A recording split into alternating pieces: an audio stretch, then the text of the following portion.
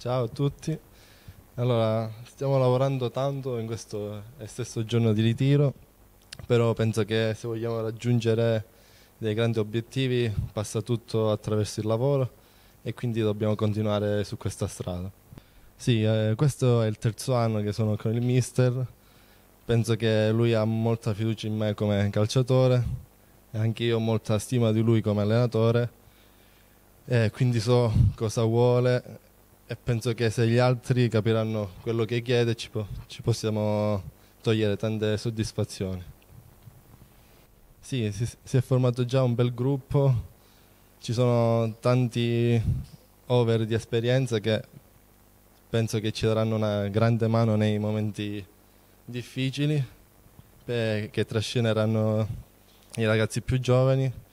e sappiamo già che ci sono i momenti in cui si ride, ma appena ci sono anche i momenti in cui bisogna lavorare e pedalare.